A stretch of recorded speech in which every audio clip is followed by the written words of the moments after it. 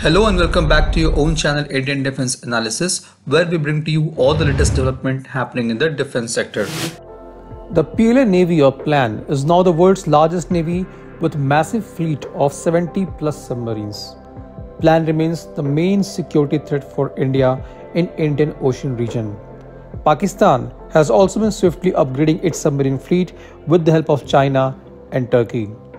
Being the prominent member of Quad and the net security provider in Indian Ocean, Indian Navy needs strong sea denial capability and this is where anti-submarine warfare becomes a priority area for capability enhancement in coming decades.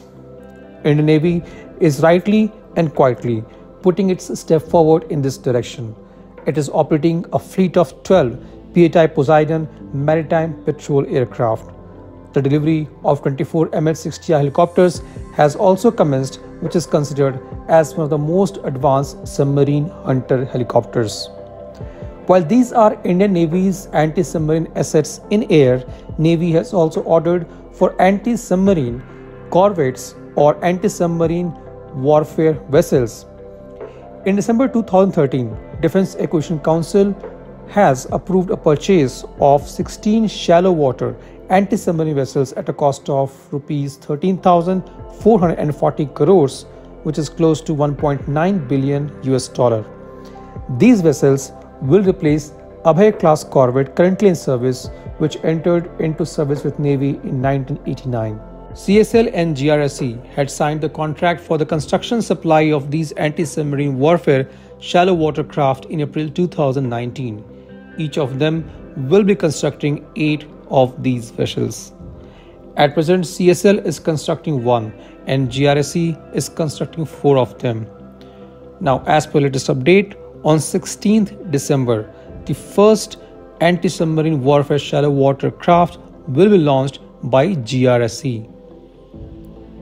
The anti-submarine warfare shallow water craft is equipped with sophisticated sonar equipment including a hull-mounted sonar and towed low-frequency variable depth sonar for detecting and intercepting hostile submarines. These vessels are not only capable of detecting submarines but can also detect mines laid by submarines and midget submarines. In addition, it has capability to interdict and destroy subsurface targets in coastal waters. These ships can also perform search and rescue operations during both day and night in coastal areas and defend intruding aircraft and lay mines on the seabed.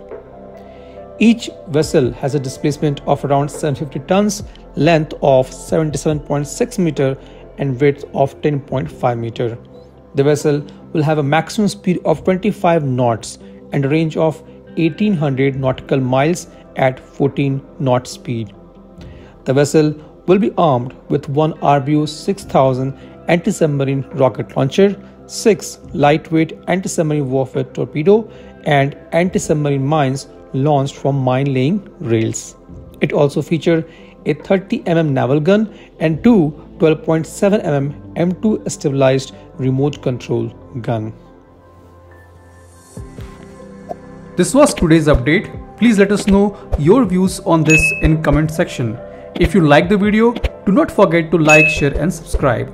With this, I would like to say goodbye and Jai Hind. We'll soon back with more interesting and amazing development happening in the defense sector.